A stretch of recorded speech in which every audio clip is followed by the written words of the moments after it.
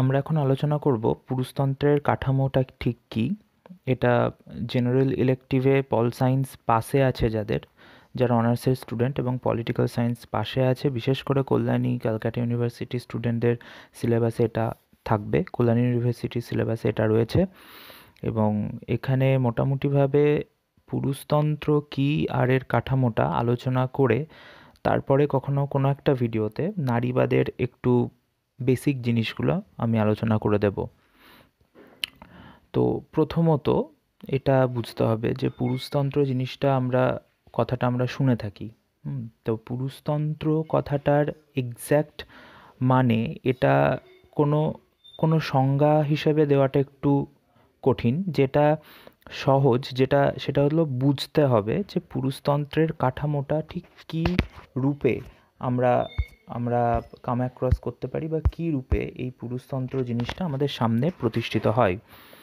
তো প্রথমত পুরুষতন্ত্র একটা সামাজিক ক্ষমতাকে নির্দেশ করে। যে ক্ষমতাটা কেবলমাত্র পুরুষদের জন্য সংরক্ষিত থাকে এবং আক্ষরিক অর্থে পুরুষতন্ত্র বলতে বোঝায় পিতা বা পুরুষের শাসন এবং পুরুষতন্ত্রের কাঠামো, পুরুষদের ক্ষমতা তাদের কর্তৃত্ব, তাদের নিয়ন্ত্রণের উপর ডিপেন্ড করে এবং কাদের উপর এই নিয়ন্ত্রণ, কাদের উপর ক্ষমতা সেটা হচ্ছে অবশ্যই মহিলাদের উপর। অর্থাৎ পুরুষতন্ত্র যে দুটো ধারণা নিয়ে গঠিত, সেটা হচ্ছে যে পুরুষরা কর্তৃত্ব করবে, পুরুষরা নিয়ন্ত্রণ করবে, পুরুষরা শাসন করবে এবং মহিলারা অত্যাচারিত হবে, অবিচারিত হবে। মহিলারা পুরুষদের দ্বারা অবদমিত হবে। এইটা, এই দুই রকম বিপরীতধর্মী একটা ধারণা নিয়ে পুরো পুরুষতন্ত্রের ধারণাটা গঠিত। অ্যাকচুয়ালি যে বিষয়টার মধ্যে উল্লেখযোগ্য সেটা হচ্ছে যে পুরুষ আর নারীর যে অসাম্যতা, সেই অসাম্যতাটা যুগ যুগ ধরে বাড়তে বাড়তে বাড়তে বাড়তে এমন একটা জায়গায় এসে দাঁড়ায় যেখান থেকে পুরুষতন্ত্রটাকে পড়ান পড়ার বিষয়টাকে আমাদের সামনে আনতে হয়। এখানে কয়েকজন যিনি নারীবাদী, বিভিন্ন নারীবাদীদের কিছু দৃষ্টান্ত উল্লেখযোগ্য। জেডা লার্নার, ইনি অস্ট্রিয়ায় জন্মগ্রহণ করেন এবং আমেরিকাতে তিনি লেখালেখি এবং কর্মজীবন তার আমেরিকাতে। জেডা লার্নার এর মতে পুরুষতন্ত্র হল মহিলাদের এবং শিশুদের ওপর পুরুষের আধিপত্যকে সামাজিক প্রাতিষ্ঠানিক ন্যায়ের এবং স্বাভাবিক মর্যাদা দেওয়ার এবং এর মাধ্যমে পরবর্তী প্রজন্মের মধ্যে পুরুষতন্ত্রের আধিপত্যকে সুনিশ্চিত করা। অর্থাৎ একদিকে যে শুধু মহিলাদের উপরেই পুরুষদের অধিকার কায়েম করা তা নয়, বয়সে ছোট যারা, শিশু এবং বয়সে, অল্প বয়সী পুরুষদের উপরও বেশি বয়সী পুরুষদের যে অধিকার এবং আধিপত্য কায়েম, সেটাকেও কিন্তু পুরোপুরিভাবে পুরুষতন্ত্রের মধ্যে ফেলা যাবে। এবং শুধু একটা প্রজন্ম ধরে এটা চলবে তাই নয়, এমনভাবে এই পুরুষতন্ত্রটাকে একটা একটা স্বাভাবিক রূপ দিতে হবে যে এটা পরবর্তী প্রজন্ম এটা মনে করবে যে পুরুষতন্ত্রে যে নারীরা শোষিত হয় এবং শিশুরা শোষিত হয়, এইটাই স্বাভাবিক ব্যাপার। যাতে পুরুষতন্ত্রের যে গ্রামারটা, যে ব্যাকরণটা, সেটা পরবর্তী প্রজন্মেও সেটা ছড়িয়ে পড়ে। এবং মহিলাদের কাছে খুব কঠিন হয়ে পড়ে এই পুরুষতন্ত্রের সঠিক উৎসটিকে চিহ্নিত করে সেটার প্রভাবমুক্ত থাকাটা। অর্থাৎ নারীবাদীরা বলছেন যে পুরুষতন্ত্রের যে কাঠামো, সেই কাঠামোটার সৃষ্টি হয় পরিবার থেকে। হুম। পরিবারে একজন পুরুষ বা পিতা নিজের আধিপত্য প্রদর্শন করেন এবং এই প্রথা তারপর সমগ্র সমাজে প্রতিফলিত হয়। যে বাচ্চাটা ছোটবেলা থেকে দেখে বড় হচ্ছে, তার বাবাই পরিবারের সর্বে সর্বে এবং শেষ কথা বলে।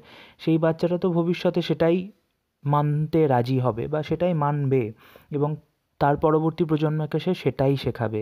এইটাই হচ্ছে পুরুষতন্ত্রের মেন ফান্ডাটা আচ্ছা সেকেন্ড যিনি আছেন কেট মিলেট ইনিও একজন নারী এবং ইনিও আমেরিকান। কেট মিলেট পুরুষতান্ত্রিক সরকারকে একটি প্রতিষ্ঠান বলেছেন, যেখানে পৃথিবীর অর্ধেক মহিলা, অর্ধেক পুরুষদের দ্বারা নিয়ন্ত্রিত হন। এবং পুরুষতন্ত্রের এখানে তিনিও বলছেন যে একদিকে যেমন নারীদের অবদমিত করে রাখবে পুরুষতন্ত্র, অন্যদিকে সেরকম অল্প বয়সী পুরুষদেরও তারা অবদমিতই রাখবে। এটাও পুরুষতন্ত্রের একটা বৈশিষ্ট্য। আর পুরুষতন্ত্র একটি হাইরার্কি বিশেষ, অর্থাৎ একটি অনুভূমিক, একটি একটি উলম্ব একটি উলম্ব একটা স্তর, যেখানে উপরের স্তর থেকে নিচের স্তরে এটি প্রতিফলিত হতে থাকে। তো এই হাইরার্কি বিশেষ, যেখানে লিঙ্গভিত্তিক এবং অবদমন ভিত্তিক চরিত্রের একটি প্রতিফলন আমরা দেখতে পাই। যে পুরুষরা পৃথিবীর সমস্ত সমাজের মহিলাদের দমন করেছে এবং সেই দমন দমনের মাত্রা বিভিন্ন সংস্কৃতি, বিভিন্ন সমাজ ও বিভিন্ন সময়ের মধ্যে বিপুলভাবে পাল্টে গেছে। তো এইভাবে কিন্তু পুরুষতন্ত্রটা জায়গাভাবে এক, বিভিন্ন জায়গা বিশেষে বিভিন্ন রকম হয়ে গিয়েছে এবং বিভিন্ন অংশে, বিভিন্ন পৃথিবীর বিভিন্ন দেশে এটার বিভিন্ন রকমের চরিত্র আমাদের সামনে ধরা পড়ে। তাই পুরুষতন্ত্র একটা আদর্শ এবং আদর্শ বলতে এখানে অবশ্যই মনে রাখতে হবে যে আদর্শটা হচ্ছে যারা মনের মধ্যে এইটাকে পোষণ করছে, এই বিশ্বাসটাকে পোষণ করছে যে আমি ছোটোবেলায় বাবা বিয়ের পরে স্বামী এবং বৃদ্ধ বয়সে আমার ছেলের দ্বারা নিয়ন্ত্রিত হব বা ছেলের ভরসায় থাকব এবং এখানে অনেক জায়গায় অনেক জায়গায় স্বামীকে শুধুমাত্র স্বামী বলে বোঝায় না, স্বামী বলতে মালিক, পতি, ভগবান এবং হ্যাঁ এ তো এই সমস্ত পুরুষদের, পুরুষ চরিত্রকে বোঝায় যাদের যাদের অবদমনের শিকার মহিলারা হয়ে এসেছেন। তো পুরুর, পুরুষের যে মহিলাদের যে শরীর, সেই শরীরের, শরীরকে পুরুষরা যে সম্পত্তি মনে করেন, এটাও কিন্তু পুরুষতন্ত্রের একটা কাঠামো। হুম। এখানে একটু এক্সাম্পল দিলে বিষয়টা পরিষ্কার হবে। সেটা হচ্ছে যে একটা স্বচ্ছ ছাদের ধারণা বা একটা কাঁচের ছাদ, যেটাকে গ্লাস সিলিং কনসেপ্ট বলে অনেকে মনে করেন, যে গ্লাস সিলিং কি? একটা কাঁচের ছাদ, অর্থাৎ একটা মহিলা তাকে সমাজের, সমাজে যেভাবে তাকে ট্রিট করা হচ্ছে, যেভাবে তাকে বিভিন্ন জিনিস বোঝানো হয় ছোটোবেলা থেকে। তাতে সে দেখতে পায় যে তার উপরে অ্যাকচুয়ালি কোনো বাধা নেই, তার মাথার উপরে কোনো বাধা নেই, সে দেখতে পাচ্ছে আকাশ। কিন্তু সে যখনই উন্নতি করতে যাচ্ছে, তখনই সে বুঝতে পারছে, যখনই সে সে একটু সোজা পথ থেকে একটু অন্য পথে হাঁটতে চাইছে, তখনই সে বুঝতে পারছে যে অ্যাকচুয়ালি তাকে চারিদিক দিয়ে বেঁধে রেখেছে সমাজ। সে কোনো কাজই সঠিকভাবে করতে পারছে না নিজের ইচ্ছে মতো। যেমন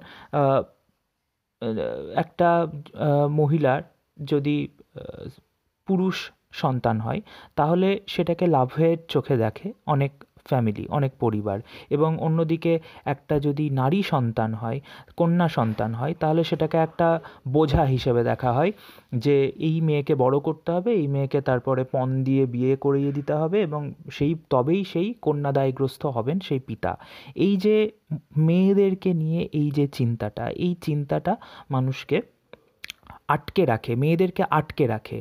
আবার অনেক জায়গায় একই কাজের জন্য ছেলেরা বেশি পারিশ্রমিক পায়, মেয়েরা কম পারিশ্রমিক পায়। আবার বলা হয় যে ঘরের কাজ, বাইরের কাজ হ্যাঁ ঘরের কাজ কি, বাইরের কাজ কি? ঘরের কাজটা হলো একজন মহিলার স্পেশালিস্ট স্পেশালাইজেশন আর অন্যদিকে বাইরের কাজে একজন পুরুষের স্পেশালাইজেশন কিন্তু এই যে সেই কারণে একটা মহিলা যখনই বাইরের কাজ করতে যাচ্ছেন, তখন তাকে বাধা দেওয়া হচ্ছে। তখন বলা হচ্ছে যে, ঘর ভেঙে যাবে যদি মহিলারা বাইরের কাজ করতে শুরু করেন। তো এই ধরনের যে দোষারোপ, এই ধরনের যে বাধা বিপত্তি, এটাকে একটা গ্লাস সিলিংয়ের সঙ্গে তুলনা করা হয়েছে। যে গ্লাস সিলিংটা হচ্ছে এক ধরনের একটা একটা একটা লিমিট বেঁধে দেওয়া এক ধরনের মানুষের জন্য, বিশেষ করে মহিলাদের জন্য। যে এই লিমিটের ওই পারে গেলেই সেটা আমাদের সবার জন্য খারাপ। অ্যাকচুয়ালি কিন্তু সেটা নয়। আবার এই যে বিভিন্ন সামাজিক অপরাধ, ধর্ষণ মলেস্টেশনস এইগুলোর ক্ষেত্রে অনেক জায়গায় কিন্তু মেয়েদের দোষটা বেশি দেওয়া হয়। অনেকেই অনেক অনেক বিখ্যাত ব্যক্তিও এরকম মুক্তি করেছেন যে একটা মেয়ের পোশাক দেখে যে যারা ধর্ষক তারা লালসাগ্রস্ত হয় এবং তারপর ধর্ষণ করে। তো এই যে মেয়েদেরকে দোষারোপ করা, যেখানে দোষারোপের কোনো জায়গাই নেই পোশাকে ধর্ষণের ব্যাপারে কিছু লেখা থাকে না বা কোনো কোনো আবেদনও থাকে না। ধর্ষকের মনটাই হয় কলুষিত, যে কারণে একজন বাচ্চাকেও ধর্ষণ করে মানুষ, ঠিক আছে? একটা বাচ্চাকেও ধর্ষণ করতে পারে, কিন্তু বাচ্চাদের তো পোশাকের কোনো ব্যাপার নেই। তাহলে তাদের যুক্তিটা তো দাঁড়ায় না কোনোভাবেই। তো সেইভাবে যে আবার অনেক জায়গায় বলা হয় যে মেয়েদের জন্য ছোটোখাটো কোনো চাকরি একদম যথেষ্ট। বড় সড়ো চাকরিতে মেয়েরা বেশি মাথা ঘামাতে পারবে না, কাজ করতে পারবে না। তো এই ধরনের যে চিন্তা, এইগুলো হচ্ছে পুরুষতন্ত্রের কাঠামো। পুরুষতন্ত্রের কাঠামোর মধ্যে নিহিত রয়েছে এই ধরনের চিন্তাগুলো এবং সেই কারণে এটাকে আমরা বলছি যে পুরুষতন্ত্রের কাঠামোর মধ্যে নারীরা আবদ্ধ হয়ে রয়েছেন এবং এটাই পুরুষতন্ত্রের কাঠামোর চরিত্র। আর একটা উল্লেখযোগ্য বিষয় যেটা পুরুষতন্ত্রের মধ্যে রয়েছে সেটা হচ্ছে যে স্টেরিও টাইপিং স্টেরিও টাইপিং এবং ডাইকোটমি একটা একটা বাঁধা ধরা জিনিস ঠিক করে দেওয়া যে এটাই সঠিক, অন্যটা ভুল এবং এটা মেয়েদের উপরেই বেশি বেশি খেয়ে, বেশি আমরা প্রযুক্ত হতে দেখি। এবং একদিকে যে বাঁধা ধরে, বাঁধে, বেঁধে ধরে দেওয়া হচ্ছে যে এই জিনিসটা সঠিক, অন্যটা ভুল, তার ফলে ডাইকোটমি সৃষ্টি হচ্ছে যে এই কাজটা পুরুষদের জন্য সঠিক এবং এই কাজটা মহিলাদের জন্য সঠিক। এই যে দ্বিবিভাজন, এই দুটো হচ্ছে একই মুদ্রার দুটো পিঠের মতো। স্টেরিওটাইপিং বা এই যে অপরিবর্তনীয় কোনো কিছু হলো আমাদের মনে গেঁথে থাকা সামাজিক নিয়মের একটি চিত্র যা আমরা কোনো বিষয়কে কীভাবে বা কী চোখে দেখব তা নিয়ন্ত্রণ করে। অর্থাৎ এমন একটা বিষয় যেটা আমরা ছোটোবেলা থেকে দেখছি এবং আমরা ভাবছি সেটাই সঠিক এবং আমাদের চিন্তাকে সেই ভুল জিনিসটা নিয়ন্ত্রণ করছে, সেটাই হচ্ছে স্টেরিওটাইপিং এই অতি সাধারণ ও সার্বজনীন ব্যাখ্যা স্টেরিওটাইপের এটা আমাদের সমাজের মধ্যস্থিত জটিলতা, বৈচিত্র্য, ভেদাভেদগুলিকে সঠিকভাবে পর্যালোচনা করতে দেয় না। স্বাভাবিকভাবেই আমি যখন ভাবছি যে একটা মেয়ে এই কাজটা সঠিক, মেয়ের জন্য এই কাজটা সঠিক, মেয়ের জন্য রান্না করাটা হচ্ছে আইডিয়াল কাজ, মেয়েদের জন্য নার্সিংটা হচ্ছে আইডিয়াল কাজ, তখন, তখনই যখনই একটা মেয়ে ক্রিকেট খেলতে যাবে, যখনই একটা মেয়ে লং জাম্প দিতে যাবে, তখনই আমরা সেটাকে অন্য চোখে দেখতে শুরু করব যে, ওরে বাবা, একটা মেয়ে লং জাম্প দিতে যাবে, একটা মেয়ে ক্রিকেট খেলতে যাবে, বা একটা মেয়ে সে নার্সিং ছেড়ে সে গাড়ি বাস চালাচ্ছে ট্রেন চালাচ্ছে, এই, এইটা আবার কেমন ব্যাপার? এই যে আমাদের মনের মধ্যে প্রশ্ন, তার মানে কি? যে আমরা সেই স্টেরিওটাইপ বিষয়টাকে পুরো মনের মধ্যে গেঁথে নিয়েছি। এবং আমাদের সেই পার্টিকুলার বিষয়টা ছাড়া অন্য সমস্ত কিছু অসম্ভব বলে মনে হয়। সাধারণভাবে পুরুষতন্ত্রের আধিপত্য আমাদের শেখায় যে পুরুষ বা পুরুষত্ব আসলে শক্তি, স্বাধীনতা, আগ্রাসন এবং যুক্তির প্রতীক। অর্থাৎ পুরুষ মানেই সেখানে শক্তি থাকবে, পুরুষ মানেই আগ্রাসন, পুরুষ মানেই যুক্তি। আর অন্যদিকে মহিলারা হচ্ছে নারীত্ব, দুর্বলতা, মমতা যৌক অযৌক্তিকতা, কোমলতার প্রতীক, সহজ সরলতার প্রতীক। এই যে দ্বিবিভাজন করা, যে মহিলারা দুর্বল, মহিলারা কোমল, তাদের লজ্জাই তাদের ভূষণ। আর অন্যদিকে পুরুষরা তারা এগিয়ে যাবে, তারা যুদ্ধ করবে, তারা কঠোর। এই যে দ্বিবিভাজন, সেই দ্বিবিভাজনটাই হচ্ছে ডাইকোটমি। এটা একটা বাইনারি সমাজ ব্যবস্থার জন্ম নেয়, যেখানে পুরুষ এবং নারী দুজন দুটো মেরুতে অবস্থান করে। এবং এই যে, এই উচিত এবং অনুচিতের লেন্স দিয়ে যখন মহিলাদের দেখব আমরা, তখন মহিলারা মানে পুরুষদের থেকে শুধু আলাদাই হয়ে যাবে না, অর্থাৎ মহিলারা হবে সেই সমস্ত কিছু যা একটা পুরুষ নয়। অর্থাৎ যা কিছু খারাপ, তাই হচ্ছে একটা মহিলা এবং যা কিছু ভালো, তাই হচ্ছে একটা পুরুষ। এই ধরনের একটা বিচার এবং এই ধরনের একটা যে সামাজিক একটা বিষয়, সেইটা সেইটা চলে আসছে এই পুরুষতন্ত্রের কাঠামোর মধ্যে। অন্যদিকে সিনথিয়া এপস্টেন ইনিও আমেরিকান মহিলা, ইনি এক, একটি গুরুত্বপূর্ণ কথা বলেছেন যে no aspect of social life is free from the dichotomous thinking that casts the world in categories of male and female অর্থাৎ আমাদের সমস্ত চিন্তার মধ্যেই এবং সামাজিক জীবনের সমস্ত, প্রায় সমস্ত অ্যাসপেক্টের মধ্যেই আমরা নারীত্ব এবং পুরুষত্ব, এই দুই রকম বিভাজন আমরা করতে পারি বা করে থাকি। এইটা তার দাবি। অন্যদিকে সিমন দি বুহোয়া তার দি সেকেন্ড সেক্স গ্রন্থে বলেছেন যে, one is not born, but rather becomes a woman. এটা ভীষণ ভীষণ ইম্পর্ট্যান্ট এবং বিখ্যাত একটা উক্তি, যেখানে তিনি বলেছেন যে, একজন মহিলা তিনি জন্ম থেকেই নারী হন না বা তিনি শুধুমাত্র নারী হয়েই জন্মান না, তাকে নারী হিসাবে তৈরি করা হয়, তাকে নারী হিসাবে বানিয়ে তোলা হয়। এখানে নারীটা কিন্তু কোনো জৈবিক সত্তা না, নারী বা নারীত্ব বলতে এখানে একটা সামাজিক সত্তা বলা হয়েছে। জৈব, জৈবিক দিক থেকে তো একজন মহিলা মহিলা হয়েই জন্মায়, একজন পুরুষ পুরুষ হয়েই জন্মায়।